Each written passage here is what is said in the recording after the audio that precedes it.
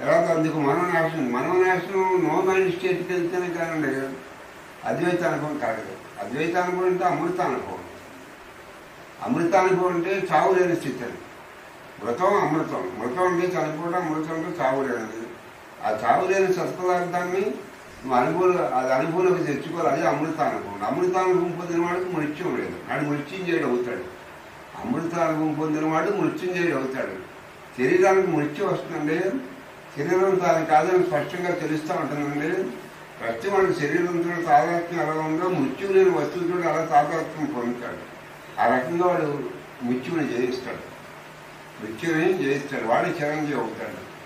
మృత్యువుని ఓవర్కమ్ చేస్తాడు శరీరం ఉండగానే శరీరం ఉండగానే శరీరం చనిపోతున్నప్పుడు కూడా నేను చనిపోతున్నానని భావన అనుకుండదు ఎంతదంటే వాడికి మరణం లేని వస్తువులతో తాదాత్మ్యం ఉంది కాబట్టి నేను ఉంటానని అనుకుంటాడండి. ఇక్కడ మనోరాశనం జరగాలండి. స్పెసిఫిక్గా జరగాలి. నో స్టేట్కి వెళ్తేనే కానీ రియలైజేషన్ రాదన్నప్పుడు ఆ ఆ మనోనాశనం ఏకచింతనం ద్వారా ఏకచింత అంటే ర- మనోనాశనం చేయడానికి అనేక మార్గాలు ఉన్నాయి. ఒకటి కాదు అనేక మార్గాలు. అందులో ఏకచింతనం ఒకటి. విచారణ మార్గం ఒకటి. ఏకచింతనం ఒకటి. ఏకచింతనం వల్ల కూడా మనస్సు ఎలా నాశనం అవుతుందంటే ఏకచింతనం వల్ల ఇతర ఇతర తలంపులు ఆగిపోతాయి మైండ్కి రావడం మీరు మీకు వెంకటేశ్వర స్వామి ఇష్టం అనుకోండి మీరు. వెంకటేశ్వర స్వామి రూపంగా తలపెట్టి అలా స్మరించుకుంటూ ఉంటారనుకోండి నిరంతరం. మీకు మీకు ఇతర తలంపులు మీ బ్రెయిన్లో మీ మైండ్లో రావడం ఆగిపోతాయి. ఎంచేదంటే అవి వచ్చినా మీరు ఏకచింతలు ఉంటే వెనక్కి అలవాటు కొద్దీ వస్తాయండి.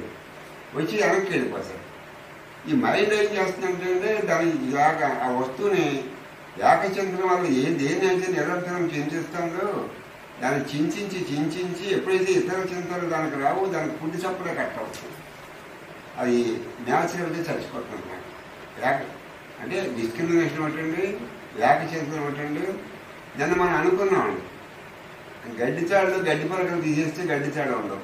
అలాగే కోపము క్రోధము భయం చాలా ఉన్నాయి. ఒక్కొక్కటి ఒక్కొక్కటి తీసేస్తే మైండ్ కూడా ఉంది మన ఇప్పుడు వి- అవి వేత రాగ భయ క్రోధ ఇవన్నీ చెప్పాడు కదండి అందులోంచి విడుదల పొందని అందులో ఉంటే నష్టం ఏంటండి? విడుదల పొందని చెబుతున్నాడు కూడా ఉంటే మనకు నష్టం ఏంటండి? అయి ఉన్నంతకాలం నీకు అశాంతి తప్పదు. అశాంతి తప్పదు దుఃఖం తప్పదు. ఏదైతే నీకు అశాంతి వస్తుందో దేనివల్ల అయితే నీకు దుఃఖం వస్తుందో ఏదైతే పునర్జన్మ హేతువులో అందులోంచి విడుదల పొందమని చెబుతున్నాడు. అది మైండ్ ఆ రూపంలో ఉందండి అది తీసేస్తే మైండ్ లేదు ఇప్పుడు పొయ్యి పొయ్యి పొల పొయ్యిలో పుల్లలేస్తా ఉండదు అది మంట వస్తుంది. ఒక పుల్ల ఒక పుల్ల బయట తీస్తే మంట ఎక్కడ ఉందంటే నీళ్ళెట్టి ఆర్పక్కర్లేదు. ఒక పుల్ల ఒక పుల్ల తీసిస్తే మైండ్ లేదు.